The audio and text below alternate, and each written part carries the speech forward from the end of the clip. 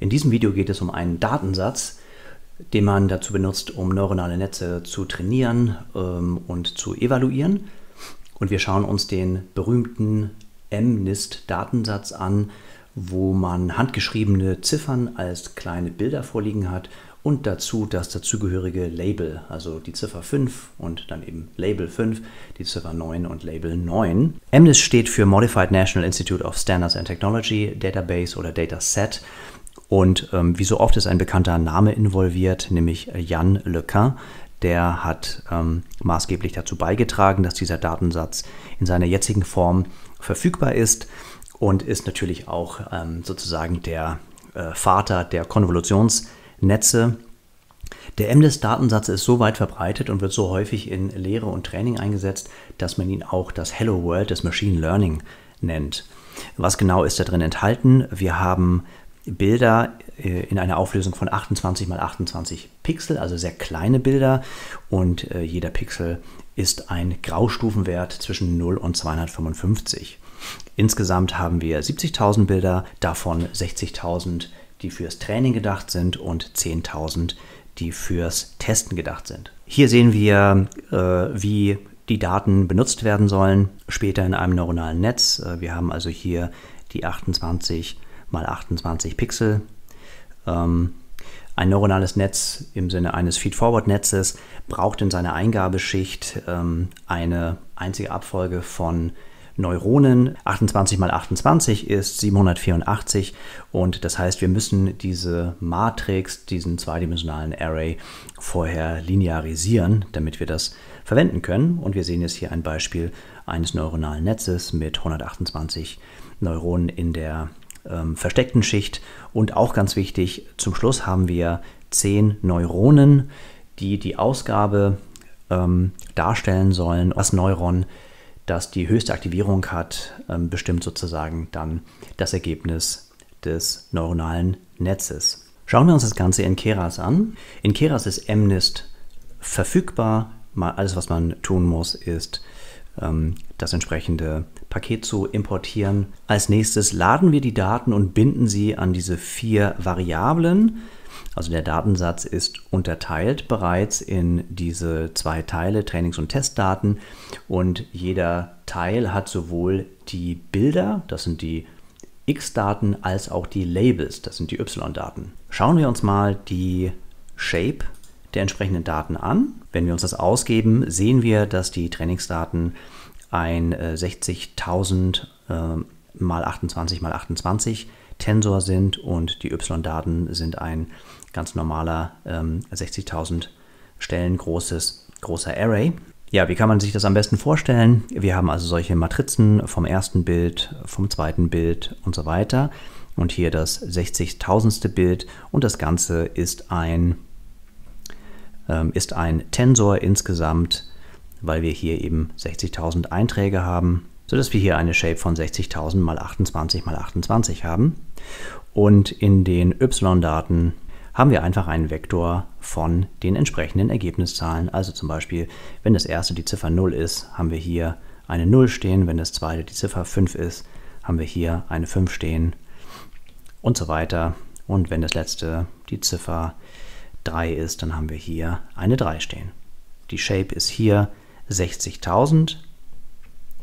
Falls Sie sich wundern, dieses Komma hier dient lediglich dazu, äh, Python zu signalisieren, dass es insgesamt ein Tupel ist und keine einfache Zahl. Okay, jetzt haben wir hm, verstanden, was das für Tensoren sind. Ähm, jetzt schauen wir uns vielleicht mal das erste Trainingsbeispiel an. Und da sehen wir eine Menge Zahlen und wir sehen vor allen Dingen, dass diese Zahlen zwischen 0 und 255 äh, rangieren. Wir schauen uns vorher aber noch ganz kurz die Labels an.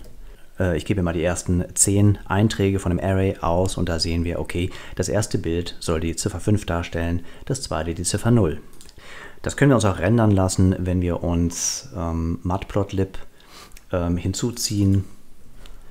Dann können wir folgendes Plot-Kommando ImageShow verwenden. Und dann sehen wir hier auch die Ziffer 5 beim ersten Trainingsbeispiel. Wenn wir uns das zweite anschauen, dann müsste da eine 0 erscheinen. Was wir jetzt machen, um die Daten vorzubereiten für ein Training sind zwei Dinge. Das erste ist, dass wir die Daten normalisieren. Wir sagen einfach, xtrain ist gleich xtrain geteilt durch 255,0 und das gleiche für xtest. Und was das bewirkt, ist eben, dass ähm, die Werte der Matrizen nicht, nicht mehr zwischen 0 und 255 rangieren, sondern zwischen 0 und 1. Das werden wir beim neuronalen Netz noch sehen, warum das äh, sinnvoll ist. Wir schauen uns wieder das erste Trainingsbeispiel an und checken das kurz. Und wir sehen jetzt hier dass die Werte tatsächlich zwischen 0 und 1 jetzt liegen und wir müssen das immer für die x-Werte machen, natürlich nicht für die Labels.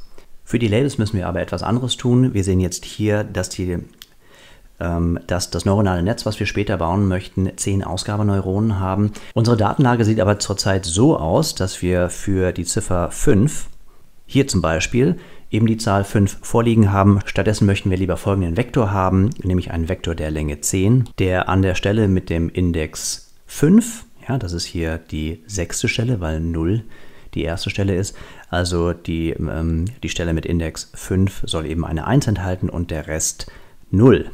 Man nennt das auch One-Hot Encoding. Und natürlich liefert uns Keras da eine Servicefunktion, die das relativ schmerzlos leistet. Dazu importieren wir die Funktion toCategorical.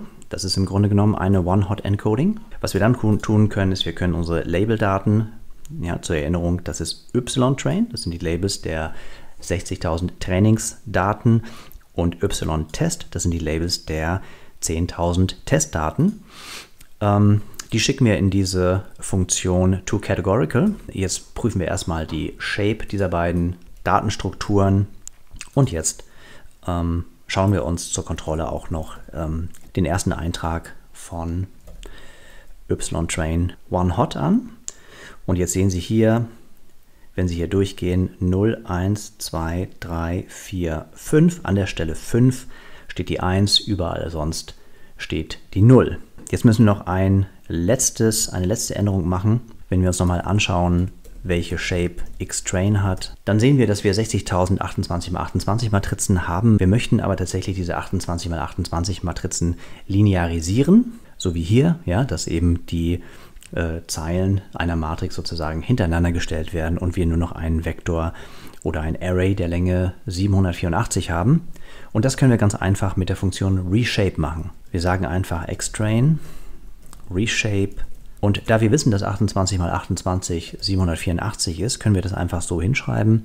Alles, was ähm, NumPy in diesem Fall macht, ist die, äh, entsprechenden, äh, einen entsprechenden Eintrag zu machen. Die Daten werden ja intern sowieso linear, also hintereinander, gespeichert. Also, damit das Ganze auch geändert wird, müssen wir das so hinschreiben.